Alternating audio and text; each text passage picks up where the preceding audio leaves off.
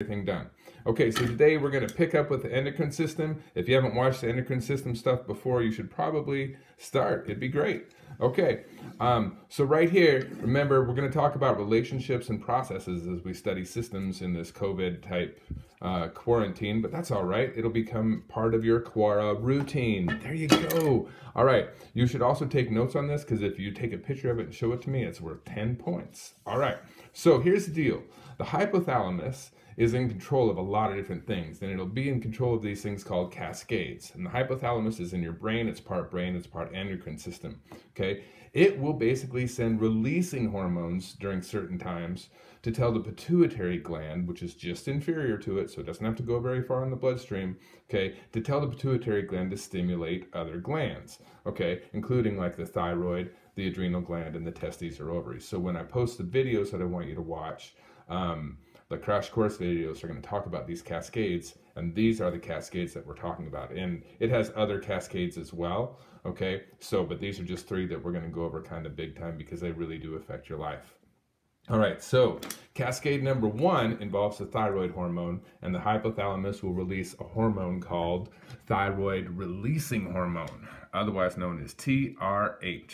And that will flow into the bloodstream to the thyroid gland, or to the pituitary gland, and it'll tell the pituitary gland to release a hormone called TSH, otherwise known as thyroid stimulating hormone. And that will tell the thyroid gland to release a really important hormone related to your metabolism, which I'm going to have you look up.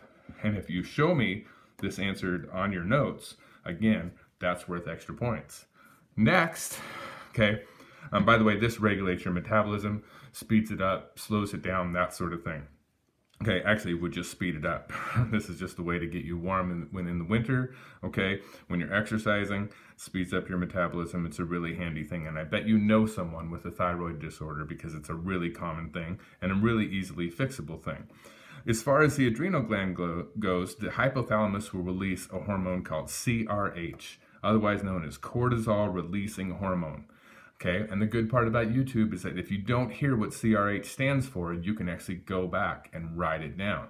So TRH is thyroid releasing hormone, CRH is cortisol releasing hormone, and that's going to go to the pituitary and it's going to tell the pituitary to release a really long hormone called ACTH, otherwise known as adreno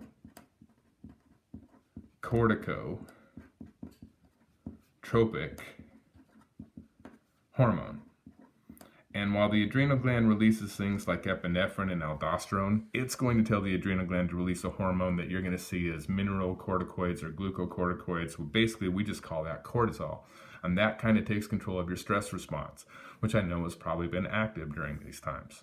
Next, um, another pathway that it has, the hypothalamus is involved with basically turning your testes and ovaries on to release sex hormones. Okay? Um, and so what it will do is it will tell the pituitary gland to release um, what we call gonadotropins. Okay? And these gonadotropins then go to your gonads, your testes or your ovaries, and they will release their respective hormones, which I also want you to look up. Now, the releasing hormone from the hypothalamus to um, the pituitary gland was basically just what we call GnRH gonadotropin releasing hormone. So you can go ahead and fill that in in your notes. Take notes on that. You're going to be have some quizzes here in the next couple days that will involve these notes. Again, I thank you guys for your patience. I miss you all so much. Take care and be well.